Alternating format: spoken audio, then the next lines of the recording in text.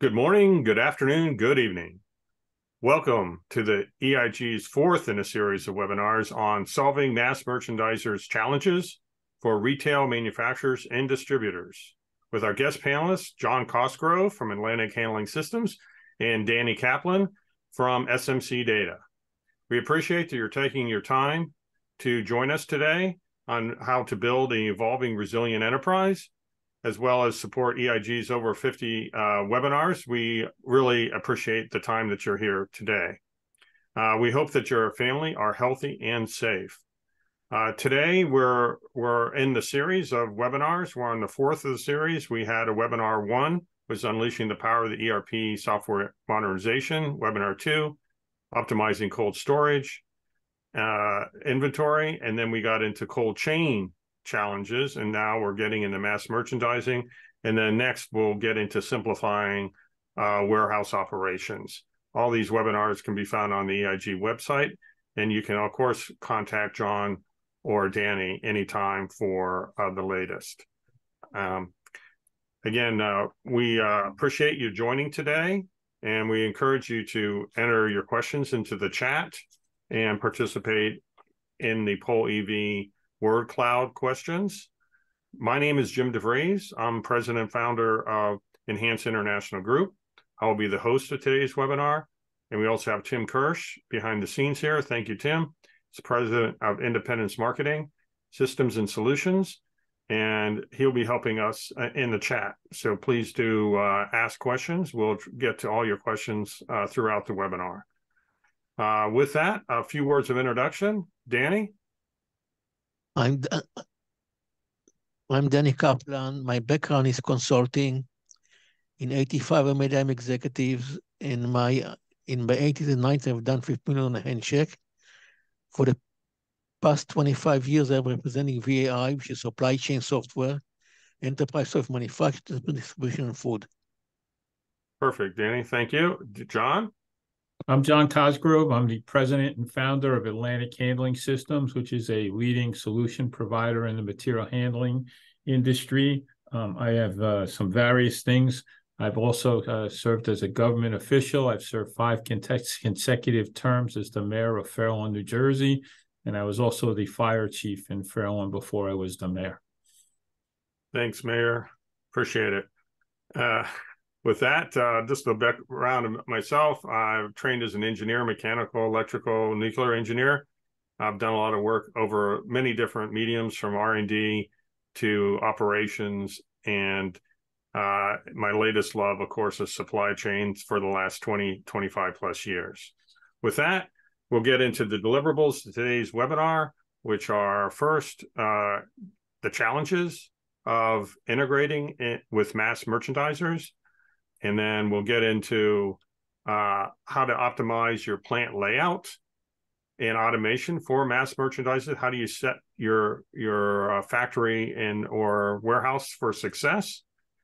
Uh, number three is how do you embrace that warehouse technology, uh, and then unleashing the power of a unified database, the VAI engine behind the scenes, and then finally, we'll get into some case studies.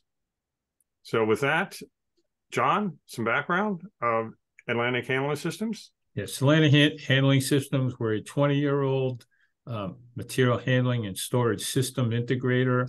Uh, we are a, a, division of a company called Maybury Material Handling, which is a 45 year old uh, company up in Massachusetts. They are the crown fork truck distributor in Western Mass.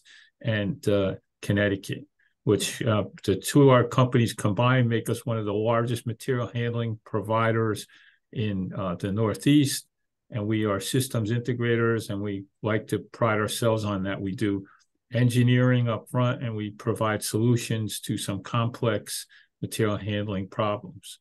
We have a CAD design team for building layouts. Um, we represent many fine equipment manufacturers.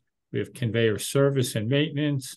We custom design and manufacture our own mezzanines with experienced installation crews. And we help and we work with Dani Kaplan and VAI to uh, present an affordable warehouse management system that we can integrate with, which provides our customers a, a, a great deal of uh, solutions to problems that they have. We also help in obtaining the hard to obtain today permits from the cities and towns throughout uh, our area. Thanks, John. And Dani? It's not my video. Sorry. I represent VAI, supply chain enterprise software, manufacture, distribution, and food, and include warehouse management. Would that translate to a distributor can buy a manufacturer, a manufacturer by a distributor, and a food client can be both distributor and, and manufacturer. It has a real-time warehouse software management, which is a very important issue because if you have a standalone warehouse management and then the standalone ERP software, the integration issue with broken lane and create inventory issues. It's a one-stop shopping, include the IBM Cognos Analytic that tell you real-time information, your inventory level, what the customer buys, when he buys, who to buys, and how much to buy. Thanks, Dani. And with that, a little background on Enhance International Group. And Enhance EIG is a group of passionate experts uh, to guide your transformation. We have over 50 consultants, consulting companies, and SaaS providers like John and Danny. And EIG serves as the mass integrator uh, for all of the partners to provide you that end solution. Today, of course, we're focusing on uh, our, our vision is to focus directly on mass merchandiser ecosystem. And and that's where we're going to be focusing our efforts today. And uh, we always emphasize that a, that we need to have a strongly linked strategy to execution plan. And that's what we're talking about today is how do we get uh, your strategy to support your mass merchandisers uh, from uh, a plan and and and to actually execute with the VAI software and of course the the engine behind it on the ground, the automation, which John will mm-hmm. cover to meet those requirements of these mass merchandisers, which is very high volume, very quick uh, delivery. And with that, uh, we'll get to our agenda here on the challenges of integrating with mass merchandisers. Then we'll get into the optimizing that facility layout with John and uh, that integration with uh, VAI. Then we'll talk about the power of S2K uh, on unleashing the power of the database uh, for with the VAI system to bring that visibility up in front of you, and then some case studies, some really uh, interesting case studies on how this is all brought together.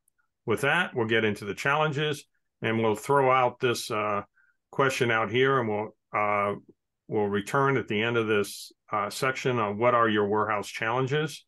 Uh, we see erratic demand, cost, expiration wastage, uh, probably chargebacks. Uh, we'll get back into this uh, in a few minutes. But first, let's talk about mass merchandisers. Just make sure we're all on the same page. This is direct from Investopedia. you know, the mass merchandisers have changed over the time. At one time, it was the big box stores more. Uh, the five and dime, and now it's turned into the Costco's and the Targets and Sam's Club and Best Buys. And of course, Amazon upset everything when they came up with their e retailers. But of course, your local supermarket and drugstores are also in this mass retailers. So who are they? Well, the big ones are in the US are Walmart, Amazon, Costco, Kroger, and so forth. So these are the folks that uh, how do we supply to them uh, in a in a manner that meets their requirements. And again, this comes from the National Resource Foundation. Uh, John, any thoughts on this? Yes, you know, as you said before, you know, Amazon has uh, revolutionized the whole mass merchandise, uh, uh, you know, scope that we look at today as far as uh, distribution. And uh, what's happened is, you know, uh, Walmart, all of these other large mass merchandisers have to compete, and their customers, or you know, especially on the e-commerce side, they want uh, delivery tomorrow and they want it to be correct and on time and uh, so they're, they're all it has changed the world and you know we talk about the mass merchandisers that we ship to the stores and then some of our clients are actually doing fulfillment for these people so they they have to meet their standards yeah and they're tough standards dani your thoughts it's a brand new reality uh, called chargeback if you deliver on the wrong time or the barcode label doesn't meet the requirements, you get uh, penalized. You build a hundred thousand dollar, you get paid eighty thousand dollar. It's a, a profit center for the mass merchandiser, and you really have to be very diligent now with your EDI and the barcode label and all the requirements. Thanks, Dani. With that, we'll move on to the next slide. Just giving you, well, what's the growth rate from a compounded growth rate perspective uh, from now until let's say 2026.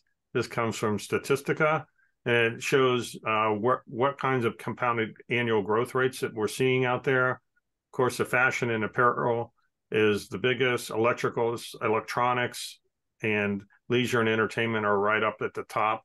And then on the bottom there, you see food service and, and edible grocery uh, still growing at a good clip at that 4% uh, compounded annual growth rate. So, uh, depending on which market you serve, uh, you'll you'll be seeing continued growth in these in these area. Uh, you see health and beauty at 5.3%, for example. So, uh, you should be seeing that kind of growth if you're serving those markets. You should be seeing at least that much growth in your business in this next five or so years. Uh, John, your thoughts? Yeah, I think what you see here is um, it shows the growth in a lot of industries, but also you know you can talk about some of the people that I have done business with, like Bed Bath and Beyond, who mm-hmm. couldn't, uh, you know, they were the mass merchandisers and had the stores, but they just didn't get the e-commerce out the way that uh, you know Amazon might or you know some of the other e-commerce, and and and it hurt them in the end because of the shift and a lot of uh, you know a lot of women like to shop online now, and uh, it, mm-hmm. it hurt. Absolutely, Dani, your thoughts? it's a brand new reality now where people went to the shopping mall and bought the shopping malls they buy on the internet now. So the e-commerce became a very big option now. And if you don't have an integrated e-commerce with your back office, your business will suffer. Amazon and the Walmart became a very big, very big uh, layer in the market. Yeah, and as Dani, as you allude here, the e-commerce, you know, that has grown dramatically over the last year, and you can see on the right side of this graph the the ones that are more dependent on e-commerce and the ones that are less dependent. So uh, you can buy a car online today, but it's still a relatively new market. And as you if you move to the right, you see the entertainment that more of the electronics are are what's really moved on the internet, and there's still a lot of room to grow in in these other uh, sectors. Well, I so, think that the graph you showed before, Jim, says it all.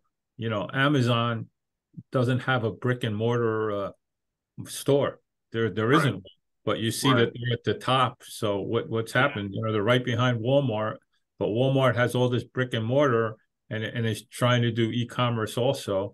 But Amazon is, is there and they don't they don't have all that overhead on that, so they can spend it on on integration and systems and you know they know they know how to get it done and ship your stuff quickly and on time.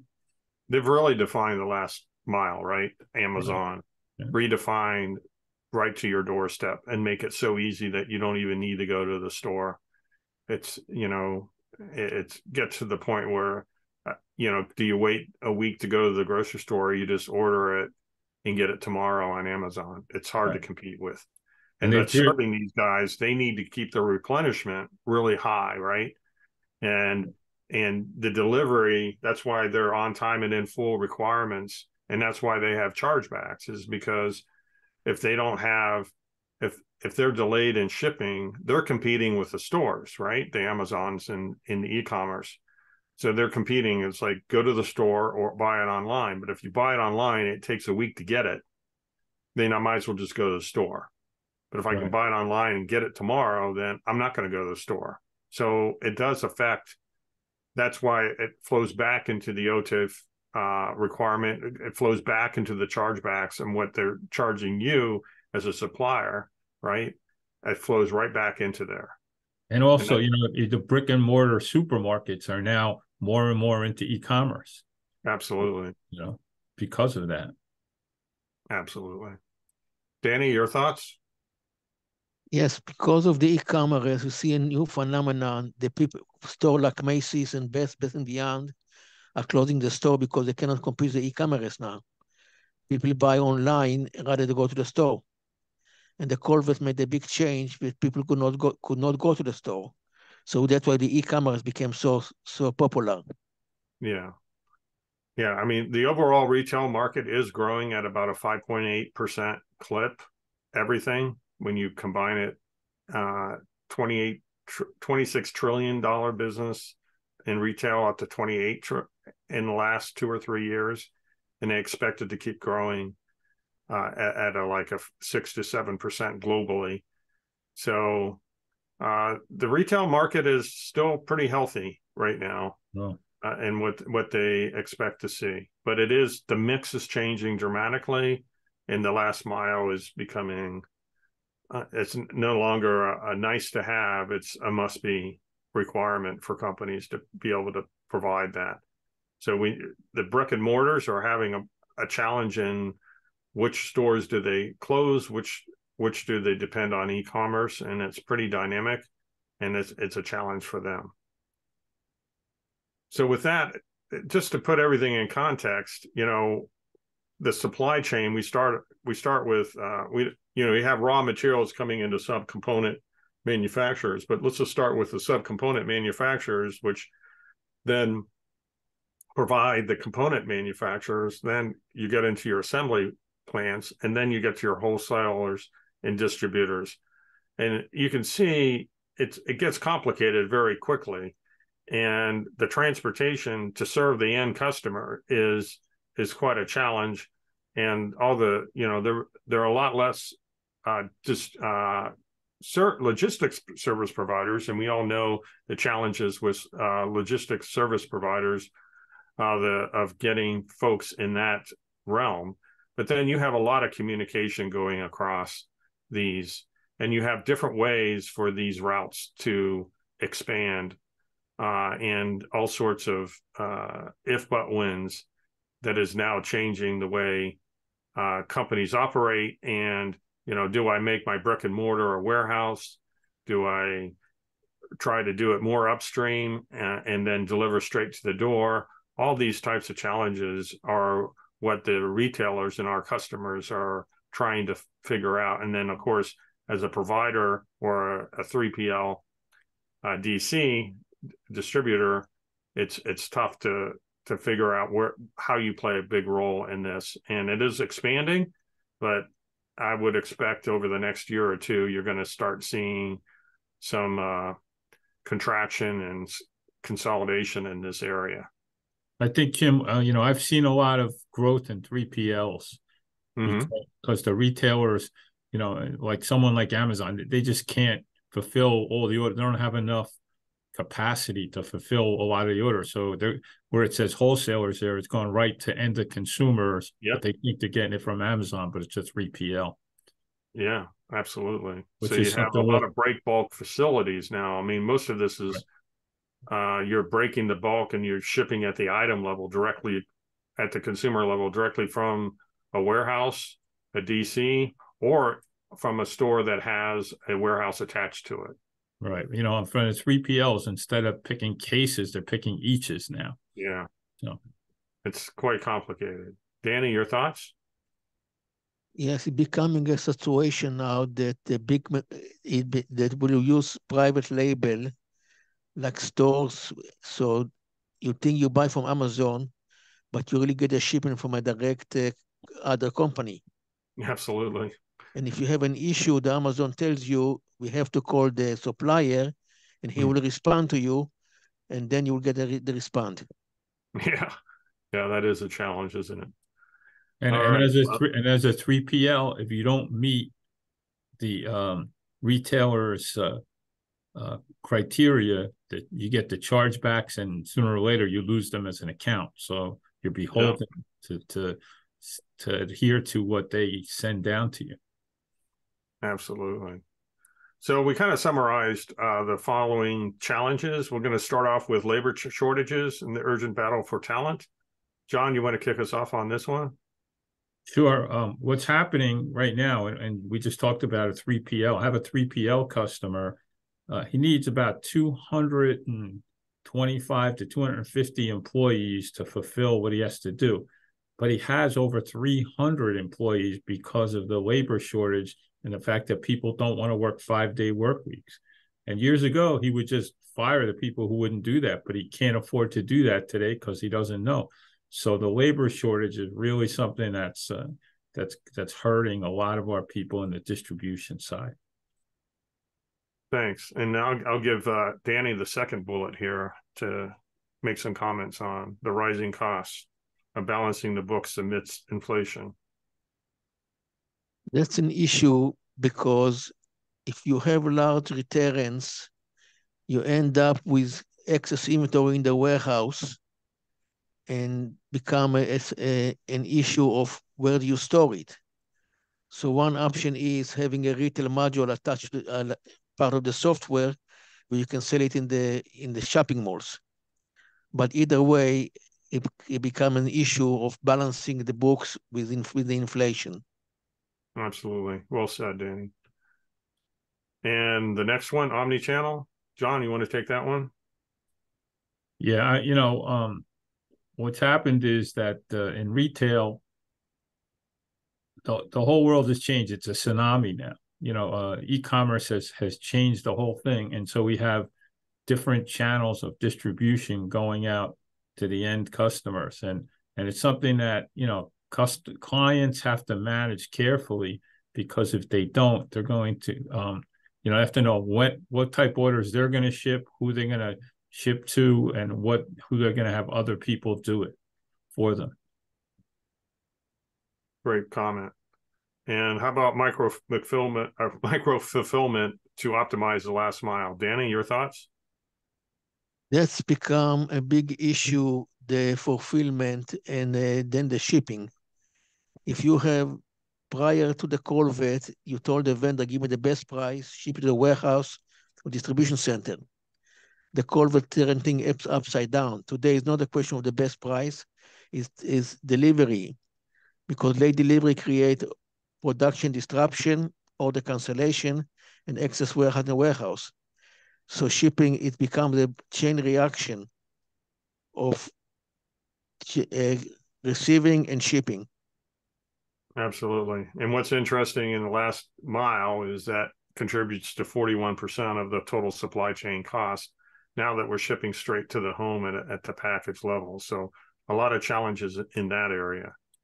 And John, increasing inventory reserves. I know you got some thoughts on this one. Yeah, what's what's happened is, you know, during the uh, pandemic and the supply chain shortage, people began to bring in, you know, as much as Dani said before, excess inventory. And when you don't manage your inventory, of course, that's a profit and loss center. And uh, that's why um, when you use the software like Dani provides VAI, you know, you can you can regulate and you can anticipate things with your inventory. And you know we can help to help you store more inventory in a smaller space or in the space you have instead of having to move and things like that. But you know increasing inventory reserves it also affects you know your revenue and and so on and so forth. So it's it's a big problem. And if you can manage it carefully it's going to really uh, give you a big ROI absolutely. Dani any closing thoughts Yes, excess inventory became a real issue, and uh, because people are scared of not getting inventory in time, they overstock it. But then it's a the pendulum swing the other way.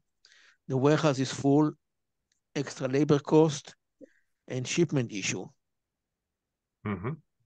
And absolutely, and then what also happens is you buy too much stuff, and it goes uh, expires, but it but you don't throw it out. You don't take the time to clean out your excess inventory, as you mentioned before, Dani.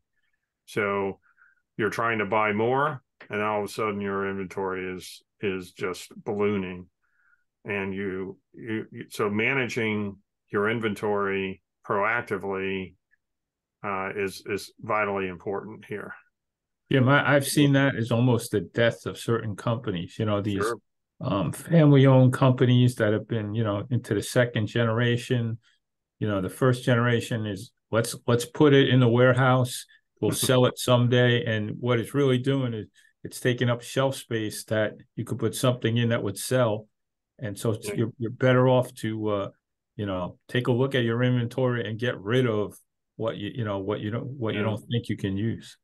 Well, that's why small businesses often get into real estate, isn't it? Because they're looking for another warehouse to put all right. their stuff. Right, exactly. Right. So you end up owning a lot of real estate to store your stuff that you don't ever use again. So and the, and the gym equipment that uh, the owner's wife bought that, that she doesn't yeah. use, but we're going to use it someday. That that's also up in the rack somewhere. Absolutely, it's all there. Another issue is having strong strong analytic, what product are selling, who buys it, and how much to buy. Yeah. Otherwise, you end up buying the wrong products, and the warehouse overstocked with inventory you cannot sell. Absolutely, having a strong uh, engine like S2K to look at that supply demand and making sure you're buying what is in demand and really doing uh, you have a very nice forecasting module in there dani that can help make sure that you're buying the right right uh, things that are moving versus what you might think you need to buy. So excellent uh, discussion here. So we're getting into the challenges and solutions. So uh, John, why don't you kick us off here on worker shortage and order status? Yeah, um, on the, on the worker shortage, you know, um, Dani always talks about this. You know, you can if you use a smartphone to scan, it can increase picks per hours by fifty percent. And then, you know, if you're selling mass merchandisers, you got to be involved in EDI. You know, um, they require it, EDI and ASNs, a lot of them, but uh, you know, the automatic transactions, let them know. So, um, you know, you have to you have to be involved in that. The worker shortage is real.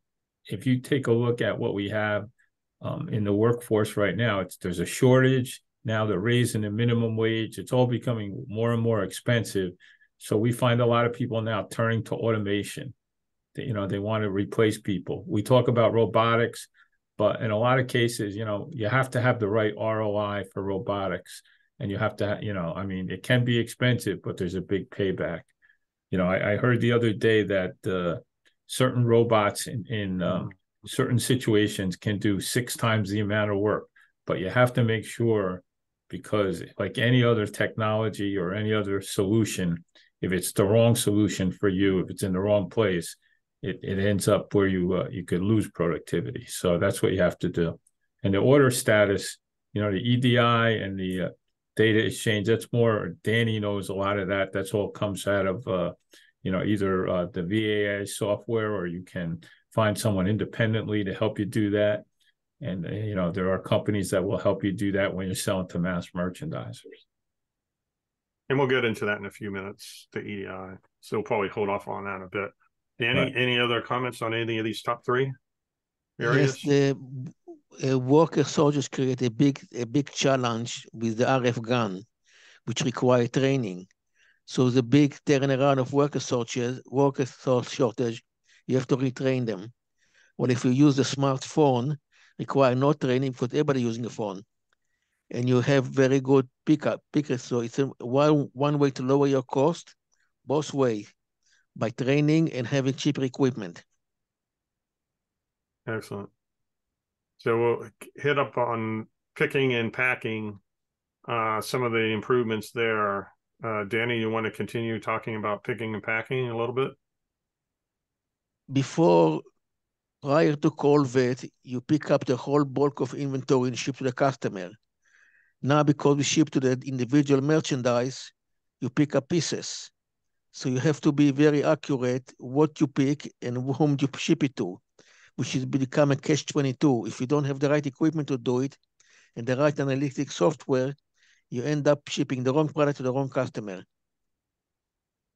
Thanks, Dani. Any closing comments on this slide, John? Yeah, I just want to say um, we're going to talk a little bit later about a pick module and uh, picking the eaches and cases, what to do separately. But this is where um, you really have to do the integration between the WMS that Dani provides and the integration that we provide with our controls for conveyors and uh, what we do to design the warehouse. So it's, it's very important and it's where your biggest ROI can come in. And and uh, the packaging, dunnage, and the UCC 128 labels and print and apply. I'm going to talk a little bit about that later, but you know, print and apply instead of having people put them on. I will tell you one, um, a uh, fragrance company that we did a job for. They would hire 30 temporary employees in August to start labeling boxes, and we put in a print and apply. They could do about 800 a day we put in a print and apply system. We could do over 5,000 a day. And we made sure, you know, you have to place the label in the spot that the mass merchandiser wants exactly. And we made sure with a photo eye, we would read it before we sent it to a sorter. If it wasn't in the right spot, we would send it down a reject lane and a supervisor could come over and make sure that they had, or if they had a no read on the barcode. So it's very, very important. And that's one of the big keys to stopping chargebacks. Nice. Thanks, John. And uh, we'll move on to the next slide here of some more challenges and solutions. Uh, John, you want to kick us off here? I think it's kind of yeah, it, it's kind of what we just talked about about the chargebacks. What happens is, you know, you, you want to have verification on your side if there are chargebacks. So if you use the ERP, which is Dani and WMS, with our automation and controls, I can use an in motion scale where we can weigh boxes on a fly and the WMS will tell us what the box should weigh for the contents that are in it. So if it's not right, we can send it down the reject lane, or if the barcode doesn't read right, we can do all of those things. And what that does is to help to eliminate chargebacks because if they do try to charge it back, you can go back and show them, no, look, the box weighed exactly what it was supposed to. And uh, so that does that. And the sortation, what we do then is we send the at the end, and we'll talk about this a little bit more after we send it through the scale and the barcode reader. We can send it to a high speed sortation system and then live load trucks and, and vans. Nice.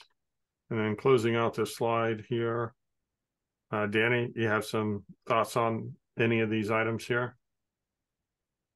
Basically, the automated shipping via, via, via EDI that's a costly issue, the EDI, but if you, if you have large volume, you must do it. But if you have small volumes, there are other alternatives for it. Absolutely. And a question just came in on a little bit backed up. It says, is there a way to determine how much of a reduction in labor costs will occur when automating and restructuring the warehouse? Yeah, uh, you know what we what we do is we'll come in and, and, take a look at how many people you're currently using, and you can give us the numbers, how much that costs, and then we apply it to what we uh, think how many people you will need and what the automation is, and then you know we usually find an ROI within a year to a year and a half. Mm-hmm. Nice. With that, we'll just keep moving. Uh, just looking at again, what are some warehouse challenges, erratic demand, expiration. We talked about chargebacks. Any other uh, thoughts before we move to the next section?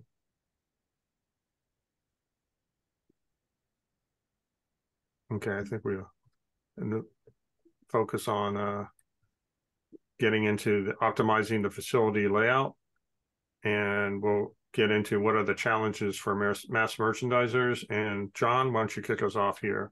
Yeah, what I'm going to do now is give you a little description of operation of a system that we put in um, to bring in um, goods. If you look here, what we're doing is we're we're loading a uh, a narrow belt sorter. It can do 60 to 100 boxes per minute. These these boxes are coming in right off a trailer and they're being received and they're put on a sorter. And then that sorter is an oval sorter and will go around and when it uh, the reads the barcode it's a bidirectional scanner will read it it'll go down that lane and then it'll be palletized and put into the reserve stock. So you can go to the next slide, Jim. So this is just a drawing that shows what we're doing is we're going to take the product from racking and we're going to put it in. This is an overview of what we call three. There are three pick modules here. What a pick module is is flow rack on both sides coming into the middle with a power conveyor with gravity on each side. And essentially what it is, is it becomes a pick and pass or like a zone pick. So the operator will take a box and put a generic label on that box, which identifies it. It'll scan it and identify it as a license plate on that. And then they will pick their zone. And this particular system is pick to light. So when they scan the pick ticket, they get the lights to light up and they'll tell them to pick 10, to pick five, whatever it is, they'll pick it and then it, they'll pass it down to the next person. If they're done and they're complete in the middle of the pick module and it doesn't have to go all the way around, they'll put it on the power conveyor and take it out. And the red spiral circular things are a spiral. So if you go to the next few slides, we'll be able to see some pictures of this actually. This is the, oh, that's the pick module itself. It's a three level high pick module where this one is loaded from the back with an order picker, has flow racking, and it comes to the middle, which you'll see. So, and then where you see the yellow gates, we actually can load pallets onto those gates and then take them and, and put them into the system also. So if you go to the drawing, we'll show you. There it is. There's the three levels of mezzanine plus the floor. And um, there's a, a catwalk in between the reserve stock, you see the picker who can pick the boxes and then load the flow rack. And it comes to the middle. And what, what they do, and this is a picture of it. What this company did was they they did sunglasses for um, Walmart at the time, Kmart, uh, you know, um, CVS, Walgreens. So what they would do is they would load each level and then pick it clean because these sunglasses all had individual tags on them for that um, for that mass merchandiser. So if you look to the left, you see a, a roll of barcodes. What they do is they take that barcode and they put it onto the box, and there's a pick ticket in the box. They scan that, which then lights up the pick to light, and you can see they take it and they push it. They pick their zone and then they put it down, and they keep pushing it down. And then when it's done, they put it on the middle conveyor, which takes it out. That's the spiral that you saw at the end. It just brings it down so it doesn't take up as much room and we can get a lot more accumulation in instead of taking up a lot of valuable real estate. So we had one at each end of these pick modules. When we come out, we can also do this. This is a pick module where we brought it out on all three levels and we brought it down. You'll see that there's a structure up above this was built in Secaucus, New Jersey, which is built on a swamp. So we had to distribute the weight of the conveyor, which we did by building these structures and hanging the conveyor from that. So we're taking it there to the next slide. And, and um, when we get to the next slide, you see this is the transportation that comes out of that. We transport it and then we bring it out to a checker where they check it. And then we'll go to the next slide and we're also in we're weighing it on the fly there also. So this is another sorter, but this is at the end of the line where we're going to send it to shipping. So what we do is it's an oval shipper comes down and we can you can see that we have some 90 degree diverts and some 30 degree diverts. We send it down. We have a scanning tunnel at the end of each one of these to verify the barcode. And then what we do is we live load the truck. Uh, this particular live load, we had a um, a Max called Max, a belt conveyor that can extend 40 feet into the truck and it can live load it. And we can also do it with the, you know, the accordion type um, best conveyor or Nestaflex conveyors that are gravity. You can do it that way also and live load the truck.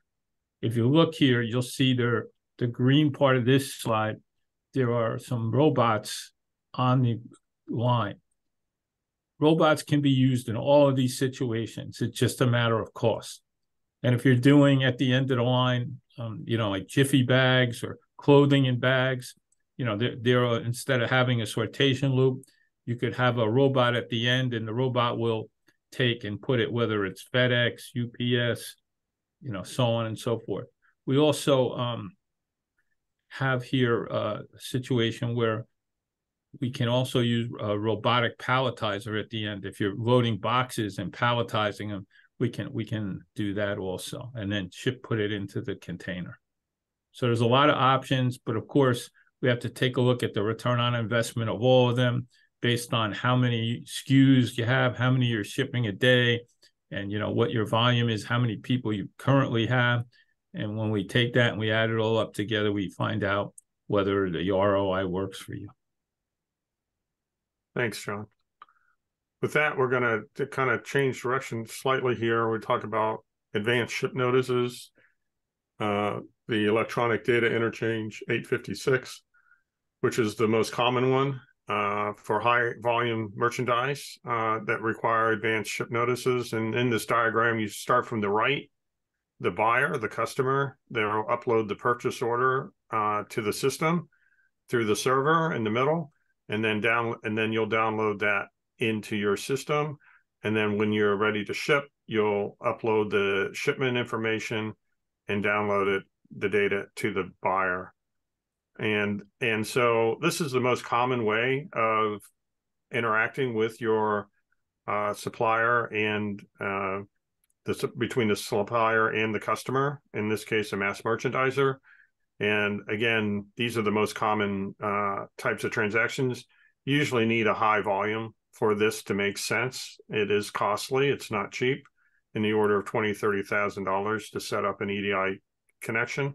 Many customers, uh, mass merchandisers require this, and they require a minimum of this type of information on there. There may be even additional information that a, a mass merchandiser may require, but the tracking number, carrier information, BOL, all, everything you find on the bill of lading, the delivery, date and time, the order details, pallets and units shipped uh, needs to be on there. And then there's we talked about EDI, but there are some alternatives in in that uh, flat uh, file transfer from using uh, your portal or their portal and using a robotics process automation bot where you're scraping information off and you're automatically uh, doing it versus doing it in spreadsheets. Uh, of course, you can always do it with an Excel sheet and v, VLOOKUP seems to be the answer to all problems, but there are uh, some automated solutions beyond using Excel. I don't know where we'd be without Excel and things, but it's not really the most efficient way to do things and often leads to errors, processing errors. Uh, John, your thoughts on this? Well, you know, you see it a lot throughout the people who sell mass merchandisers. You know, the majority this is this is what they do. They use ASNs with the EDI and and uh, you know it, it really it works for them and it helps them and I know that Dani is very familiar with that through all his years of experience in uh, selling the WMS and ERP systems. Dani, your thoughts? There is a question here: Is the VAI capable of uh, easily uh, uh, optimize the system? VAI is very easily optimized, especially if you need the EDI, uh, ASN and dealing with the mass merchandise. There is few options. One use EDI and the other one use a other method, just transferring the file as a flat file and then the received other. But that flat file will be for small small volume. Right. And and to that answer that question may be better answered than this next slide where uh, VAI does offer two options where they get a third party to set up the the flat file and get that EDI link, and they use a uh, a partner called Infocon. So that's one thing that you can do. The second thing is uh, if the, if you already have an EDI in house uh, provider, you know, then VAI will work with your provider and uh, and and uh, use uh, their service partner, uh, Cleo Integration Cloud. So uh, I, th- I think VAI has a lot of options here, and and so it's something that uh, is part of the part and parcel of of what they do every day, and and uh, and again, the handshakes are so important. Completely integrated warehouse management system, picking orders and cartons and contents uh, to create create those UCC 128 labels that John mentioned and and and Dani mentioned. You get your advanced ship notice documents when the when it's shipped and sends that EDI 810 and and it's integrated throughout the whole system. So the bottom line is VA has has the answer in this realm to meet your uh, requirements for your mass merchandisers. Dani, your closing thoughts on this? It's it's it, it's good to have two options because EDI is very expensive. So the smaller companies need some other options that uh, can afford. And having yeah. multiple options makes a big difference to the companies who are like the mid-market on 30, 40, 50 million dollar versus the high-end market, which is 200, 300 million dollar. So two different factor uh, sector of the market uh, that being able to afford to afford dealing with the mass merchandise. Absolutely. With that, we're going to keep moving here. So John's going to kick us off on this slide. Go ahead, John. Okay, so um, you know, one of the things real estate is very expensive today. So uh, you know, I have a lot of clients that that had 10-year leases and their leases are up, and and when they look at the price to stay in their facility, even though they they've grown, uh, they they realize that uh, it's, it's just astronomical right now. Some of the pricing for real estate. So what we try to do is come up with a high density space utilization where we shorten up the aisles and get them to go to a different type of fork truck, possibly if it works for them. And uh, we go to some high density storage, whether it be pushback or pallet flow, that kind of thing. You know, for mass merchandisers, they when they bring the product in, they have to put it in rack for storage before they bring it into whatever the pick area might be. And you know, this is a good time to talk about right now. Uh, you know, we used to take the person and bring it to the goods and now what we're trying to do is bring the goods to the person. And and that's what the uh, this whole robotic revolution when you see these agv automatic guided vehicles what they're actually doing is they're bringing the goods to the person as opposed to have the person serpentining through the warehouse. But what that does is it frees up space for us to uh, put some more high density utilization in. And when you know you know when you get organized you get order integrity you know, um, it becomes much more uh, of a, a, better flow. It's the old assembly line kind of thing. You're feeding the pickers, so you get more productivity and, and integrity in the orders. And we increase the picks per hour by doing that. And uh, you know, when you do pick to light, what happens is the pick to light has a system within it where you can actually uh, monitor pickers and see who your best pickers are, who are the most productive, who do it correct all the time. And the pick to light um, actually provides 90 over 99% accuracy. So it, it really helps you back with those chargebacks. Thanks, John. And Dani? Having integrated the warehouse with the with the with the enterprise software is very important because if you don't have it combined warehouse and warehouse and in ERP they have broken lane, which create an, an inaccurate inventory. Another issue is implement a, a module using a smartphone lowers the cost instead of a, a 400 smartphone replace a $3,000 gun. And implementation is very important. We, in order to avoid business disruption, we create a test environment where the data converts every day. When it's accurate, the user gets trained test environment and every department gets an expert assigned to it. So basically, it's a minimum business disruption, and you run your business while everything done in test environment. Thanks, Dani. And then I just want to comment, uh, EIG has over 50 partners. So if this is certainly a, a, major part of your operations, but there's other parts of your operations that you may need support in sales, human resources, uh, other technology requirements outside of, of, what we talked about today. We have other partners that focus on in, in those areas. So we're he, here to uh, act as a uh, a catalyst to synergize your your uh, your needs and to make sure that you prioritized overall from an annual operating plan perspective of what you're going to focus on in the next uh, 12 months, uh, all the way to how do you get hire the right staff for your requirements. So um, that's what EIG offers outside of what we talked about today. But for today, it's we we really feel like this is a fast track tailored VAI ERP MRP implementation aligned to your business capabilities and priorities. That's what our overall goal is. Uh, with that, uh, because of time, we're just going to keep moving into Dani's section on unleashing the power of a unified database. Dani? That's a big issue companies face today when they don't have the right vendor.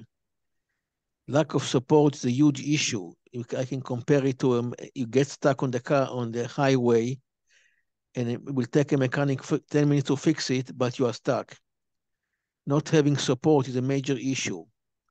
Another issue is frequent upgrade. A lot of companies, software companies, buy other companies and don't don't upgrade their software. So you end up paying li license fee for outdated software. And that creates a real issue because you don't stay with the time. And the lesson most, most, the lesson most important thing is slideshow demo. They give you a nice demo and you don't affect, you don't uh, address the business issues. I have a very large account now that we, we yesterday we did the fifth demo already and they were going to buy after the first demo, but we told him we don't every car between the showroom and every car and and every demo is beautiful. We want your business requirement and your test data. And we became friends, and the CEO and the key person invited me to the to the for the Hanukkah holiday to, to come to visit the house. nice. That's in a nutshell the entire VAI software. It's one-stop shopping, analytic, not showing what your inventory is, accounting, order processing, sales, manufacturing, distribution, food, warehouse, CRM, e-commerce, mobile. It's basically a one-stop shopping under the single database, which is very, very important, especially in the M&A world. When distributed by a manufacturer, you end up with few ERP software which don't integrate, which eh, we require access user eh, user access efforts and corrupted data. In a nutshell, that's the whole thing. Unified database, streamlined operation, real-time information, and inventory warehouse management is all part of the package. Thanks, Dani. With that, we did we do have a uh, a polling question here that uh, is kind of an interesting one. And where where did Black Friday originate? Uh, I wonder if uh, I think we did this guest uh, with the partners before. Was it New York City, Chicago, Philadelphia, or San Francisco? Uh, I know I thought it was Chicago. I was wrong. Dani, I think Dani, you said New York City. Is that right? Yes. And John, you said New York City? Yes. I, I was following my friend Dani. Yeah. So I we were all wrong. So the answer is Philadelphia, and it originated from the 1950s. The day after Thanksgiving, everybody rushing down to Philadelphia, and everybody's like um, thinking that's a vacation day, but it's not a vacation day if you're a cop, because people got pretty unruly. If you remember the Cabbage Patch uh, dolls and and a couple movies about how people went crazy on the day after Thanksgiving to get the best prices and the and the best toys. And, and it was actually the police force called it Black Friday because it was a Black Friday for them because they had to put in overtime and you know people get pretty uh, weird i think uh, when they want to save a buck or two or 10% or 20% so that's where Black Friday came from. Just a, a little bit to break up today's uh, webinar. With that, we will we'll move on to the next slide, next area on case studies. And John will kick us off with uh, his case study here with the glassware company. This is an eyewear company. These are the slides that you saw before. This is a three-level pick module. Um, we uh, we put this in for them. They did fulfillment for all the major mass merchandisers who would sell sunglasses. And you know, one of the problems with that is that they do tag everything and put their own security on them, so they had to uh, segregate the uh, chains. You know, one of the things that I didn't mention before was that they also used a put system. You know, many of these mass merchandisers always use the same SKU or many of the same SKUs. So instead of a pick into a box in a pick module and then send it down the line, they would send the product down the line. And, you know, many of them roll out the same thing to get 20 to, you know, the store in Cleveland, 20 to Cincinnati, 20, you know, and so what they would do is do it the opposite way and put a put in. And that's what they did here also. You know, it was one of the largest eyewear providers, was located in New Jersey, um, had mass merchandisers all across the country. They would they would pick Walmart West one day, Walmart East another, so on and so forth. And we reduced shipping areas and fines, and we increased their productivity. Um, one of the things we did, of course, is that we we when we put a system in, we do the design and engineering, which helped them increase their productivity and throughput. You know, orders were shipped in a timely manner, and they were correct and complete. And uh, they had like twenty percent less chargebacks from merchandisers, which, as Dani had mentioned before, was a profit center for a lot of the mass merchandisers. And they increased their productivity throughout the warehouse. So, in, in this specific system, their ROI was less than one year. Thanks, John. Dani? This is the case study of a company that uh, had ma- massive chargebacks has multiple system and they needed to consolidate the whole thing.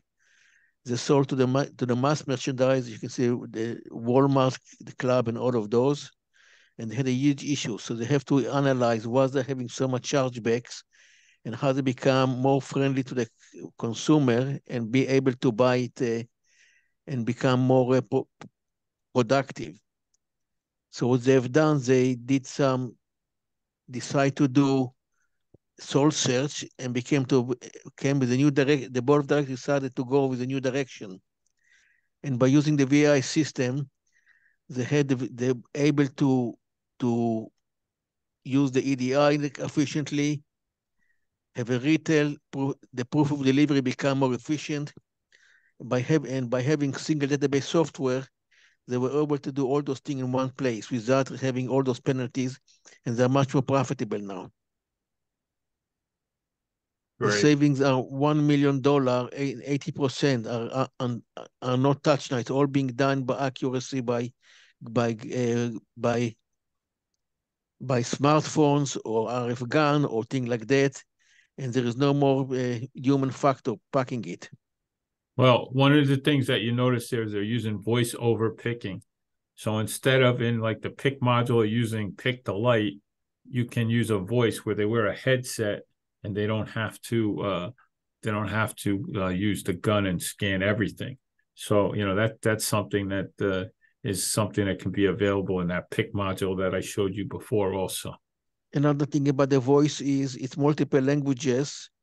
So if you hire people who are not um, not uh, or immigrants or not or we have big influx now, it's, it's multiple languages, Spanish or English or whatever languages, you can tell them pick up those items in this location. I think it's up to seven different languages now, Dan. Nice. Yeah, and what I love about this case study is is that they put the customer first. And everybody says it costs too much to serve the customer and to get 100% on time. But here you can see their supplier scorecard went from 75% to 99.9%, and they increased sales. And it didn't cost them any money they they they they had all the data in the system of S2K for years, but they hadn't used it, and they worked with VAI to uh, hone in on this. You know, put the customer first and make it make us a friendly uh, to do business. So I often hear manufacturer says it costs us too much to deliver on time. It doesn't have to. Uh, and this is proof in the pudding, so to speak. Well, I think you see that quite often, Jim. You know, people have the capabilities, but if they don't use them correctly, you know, if they don't put in the right data and they don't use them correctly, it's not going to help them. Absolutely. I love this case study. uh, Dani, the next this one. is a case study of a perfume company that has a standalone a standalone website and multiple ERP software, and resulting in a excess labor, wrong shipment, and uh, all kind of Pandora box was happened there. So what will happen is getting the VAI, they start to they're able to know what to buy, when to buy, how much to buy, and whom to buy. So the mistake will decrease substantially. And the main thing is the, the customers are happy, which is another thing. They ship worldwide now. And they went, they quadrupled the business by now by having efficient ERP software. They're, a manufacturer and distributor and a wholesaler, so they have to have integrated. Before they had few few ERP software that have integration issues. Now by using VI one-stop shopping, which has distribution, manufacturing, and food, it's all in one under one umbrella, and it does have no integration issue that create the the mess they had before. And I love their saying there, right, Dani? VAI system is able to grow with us, or maybe VAI helped them grow beyond what they thought they could do. they practically tripled the business since bought. I, I brought them in about eight years ago, and by now they've tripled the business since then. That's fantastic. So you can triple your business using technology. Beautiful case study. All mm-hmm. So uh, we're uh, we're just trying to wrap up here, and uh, Dani, John, your thoughts on this slide? Uh, uh, first, uh, John. Yeah, on the the automation impacts. You know, um, what what we're doing here is we're trying to, and this trying to eliminate the chargebacks, trying to increase productivity by increasing accuracy and having higher throughput and using your space. And, and that ROI is typically a one year return on investment. And when you take the automation that we can provide with the uh, with the ERP and WMS that VAI and Dani provide, you know, you're you're getting a system where we will give you the hardware and the controls, and Dani will provide the intelligence that will get you to that ROI for one year. Dani? Your factors are factor number one is the uh, analytic, knowing what to buy, when to buy, and how much to buy. That creates a huge, a huge difference on both ways. Number one, you don't have a, your cash tied in in inventory and the warehouse overstocked. Second, the second thing is have a reliable RF gun. Using a smart, sometime a smartphone will be a better choice than RF gun, but there is no given to it. But you have so or the or the voice speak, so you have good, a good option. And the third thing is having reliable, seamless integration between the warehouse and the ERP. Is you can see huge location here. And multiple location is another issue. You must know what in each warehouse is. If you don't, if you have multiple ERP software, one warehouse is overstocked, one is understocked, and you end up the understock buying more while the overstock has too much inventory. Having a real-time software over the cloud, you know what every software, every warehouse has inventory. ROI, we have clients achieve a million dollar in one, like Imperial Dade, a million dollar ROI in one year, and Black River achieve a million dollar in two and a half years. Yeah, you have a lot of case studies. So uh, Dani, I think you have the record number of case studies. If you can't find something similar to your business on your website, I'd be surprised. So, a lot of information for both uh, AHS and and SMC data on how to improve your your facility to make it run better. So, hopefully, you enjoyed the webinar today, and uh, we addressed uh, the deliverables uh, completely. And uh, we look forward to our webinar next month uh, after the new year. We can say next year we'll see you back here on simplifying warehouse operations. And with that, John, any closing comments? I just want to thank everyone. I, th- I thought it was a really uh, good discussion, and I hope uh, everyone enjoyed it.